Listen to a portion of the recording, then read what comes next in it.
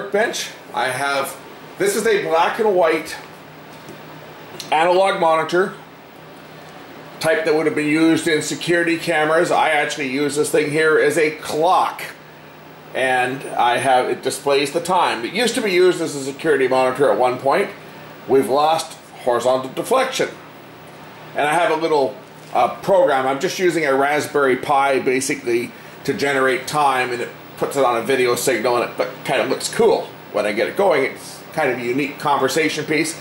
It's kind of like that oscilloscope clock that I've got sitting up in the, the shop here. Along the same lines as this clock. This one here uses the XY inputs of an oscilloscope and just generates the time.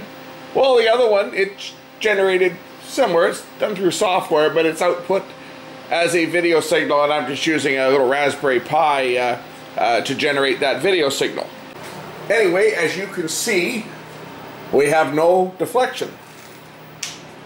So let's get let's get this uh, unit apart, and we'll see what's gone wrong.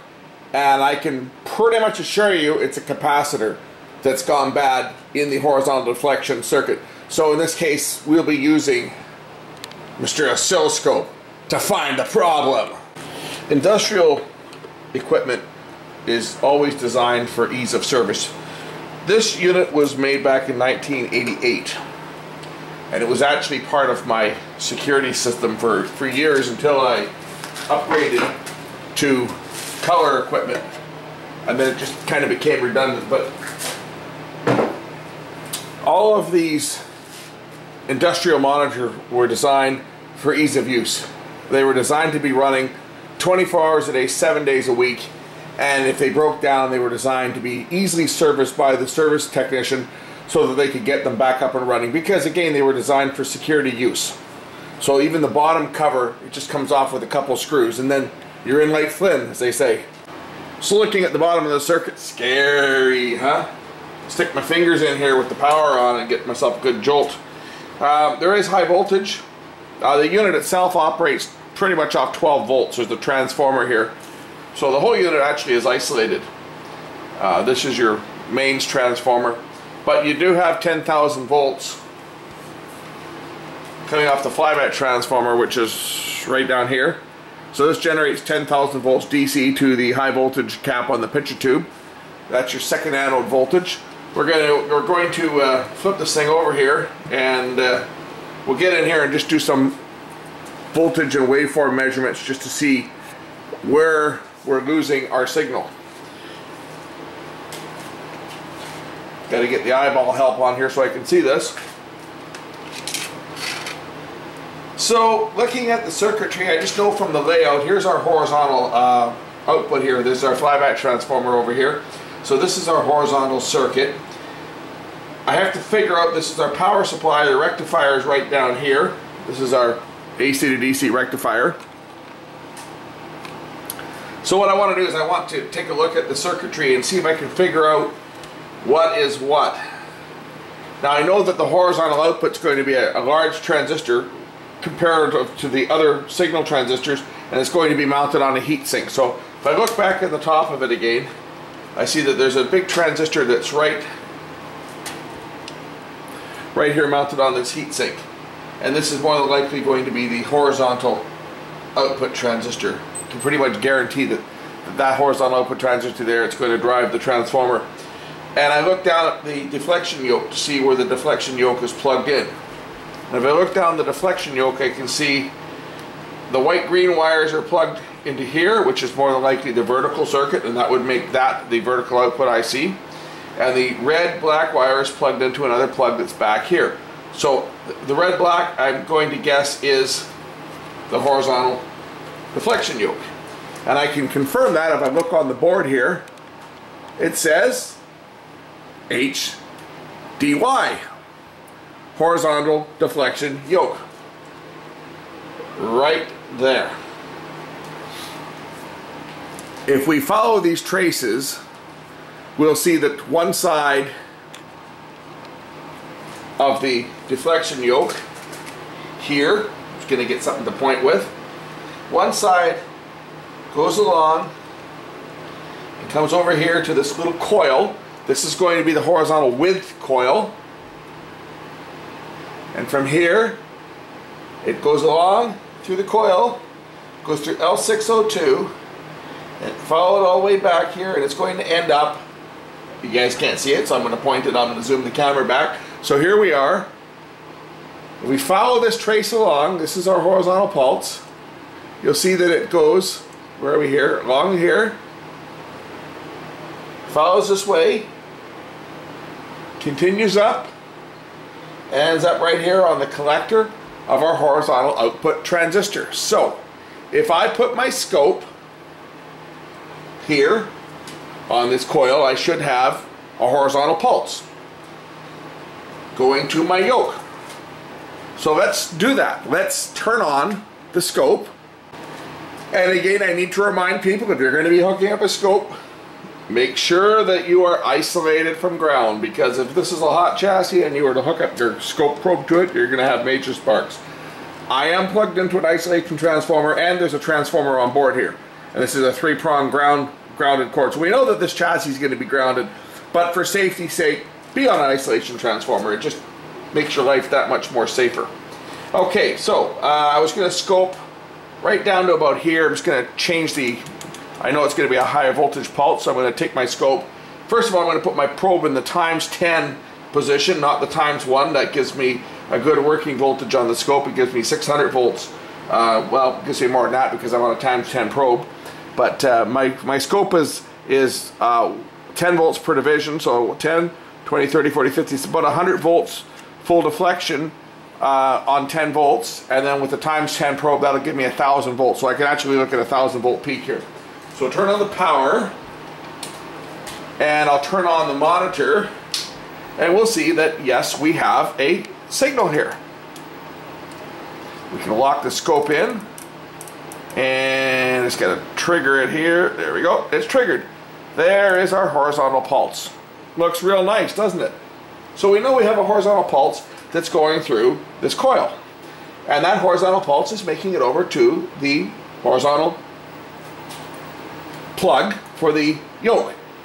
The other side of the plug, aha, it's making it through the yoke. If we follow that circuitry, it goes to this big ass capacitor here. Well, it's not really a big ass capacitor. It's just it's a big capacitor. It's not a very high value. It's I think 6.8 microfarads maybe. It's all it is. It's pretty small. Look on the other side of the capacitor and we have nothing. We've got a pulse there. We got nothing over here. Let's take out this capacitor and take a look at it. I bet you that our problem is this capacitor has gone open. So once again, I have the power turned off so that I'm not going to get jolted here. And I'm just going to heat up and remove by rocking and removing this capacitor. Here's our capacitor here. And is it 10 or 6.8 or 4.6? It's a 6.8 50 volt. But here's something very unique. This is a non-polarized capacitor. Notice that there's no negative terminal. And it tells me it's a bipolar capacitor. See? It's a BP, a bipolar capacitor, which means you can't just put an electrolytic in its place. Because as we know, electrolytic capacitors, like this one here, which is a dead one, but they have a positive and a negative terminal. And a bipolar capacitor does not. So what are we going to do? Are we going to get a bipolar capacitor? Yeah, that's, that's an option. I can do that. But did you know that I can make a bipolar capacitor? Yes, I can. Out of a regular capacitor, I can make a bipolar capacitor. Well, actually, out of two regular capacitors, I can make a bipolar capacitor.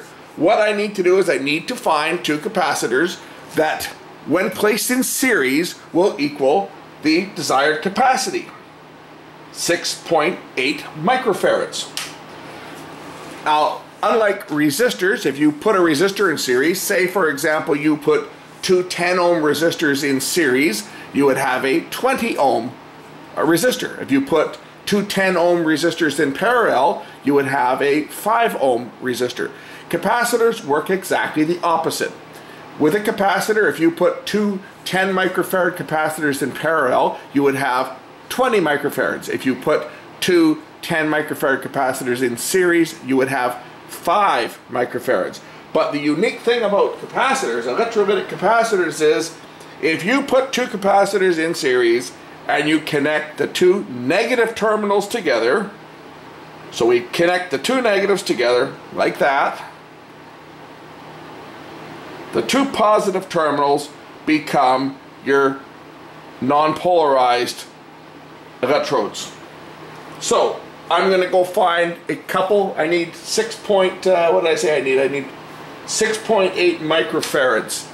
Capacitors you can be a little bit high. So if I put a couple of, um, if I put say 222 microfarad capacitors in series, that will give me. And this is a 50 volt one. So again, I, I can go 50 volts. I can even go lower though. I can go 35 volts because when you put them in series, you double your voltage, right? So a couple of 22s or even a couple of 50, couple 15s probably if I've got them. But again, it's, it's, it's not that important. You can go a little higher and all it'll do is give me a little more drive, make the picture a little bit wider. And I can always cut that back with the, uh, with the, with the, uh, the width coil. So let me find a couple capacitors. We'll put a couple of them in series. I'll tack it on here and show you that it will work. For the sake of this demonstration, because I don't have the exact value of capacitor, and what I'm going to do is I'm going to get the right one for this monitor before I put it back into full service, but I want to demonstrate that it will work. So I've got a couple 33 microfarad 450 volt capacitors. We will put these in the circuit. I'm just going to tack, tack them in on the bottom here and I'll show you that it does actually work. So I've got the two negative terminals, as you can see, connected together, and I'm just going to solder those two together.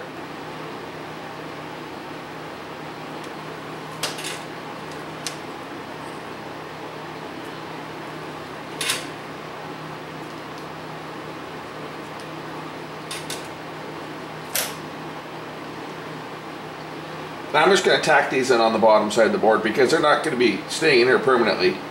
They'll be coming back out when I get the right cap to put in. I just want to demonstrate that this actually will work.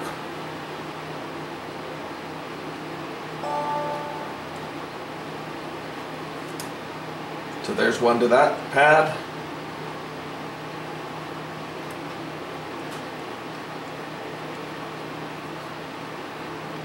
There's the other one to the other pad there. Okay, we'll turn it on. I now have the video line coming from my little time generator and as you can see there we have it. It's returned. We have our horizontal hold control. It's got a lock in there. It's a little bit unstable. It's probably because the controls are a bit dirty. But there you go. There's my monitor fixed. I love it. I have this uh, Raspberry Pi feeding into a modulator and have it set throughout my house on an unused channel and uh, ah, have music playing from my satellite dish and uh, just leave it on you know as a giant clock. Don't want to do that on the plasma TVs though. That's not good for them. It'll burn them but on the LCD TVs it is great. Anyway uh, there you go. That's how you fix a no deflection problem on analog monitor. Keep it just take a look keep look for the big non-polarized capacitor they do go bad and go kaboom like this one did. Well, it didn't go kaboom, it just stopped working. And the thing is, they'll work fine until they stop working. This was working fine up until a few hours ago. I walked into my office and, oh, the monitor's gone dead. Perfect, bonus, I can make a video of it right now. So um, there you go, it's back in service. I'm going to get the right size apart just for size constraints and put it back in there, but uh, that's it.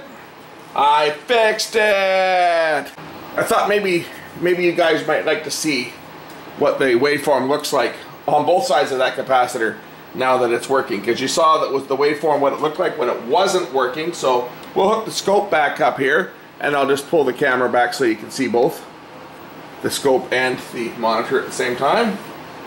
And uh, we'll just take some measurements. So I was looking at that the uh, coil before. Remember what the waveform looked like? Well, now you see the difference in the waveform. It's a different shape. The other one had kind of a double dip. Here's the other side of it. Okay, here's the capacitor. It goes in. It goes in here. Where are we? It goes through the coil. There, that was what it was. If you look at the capacitor, before we had a waveform on one side and we didn't on the other, that capacitor is grounding. That's the ground side for the uh, deflection yoke. So before I had waveform on both sides of the deflection yoke, now I don't have a waveform at all. If I, if I turn up the gain here, we'll see. I have to really bring the gain up because the voltage is very low. One side of this capacitor is grounded and the other side goes to the coil.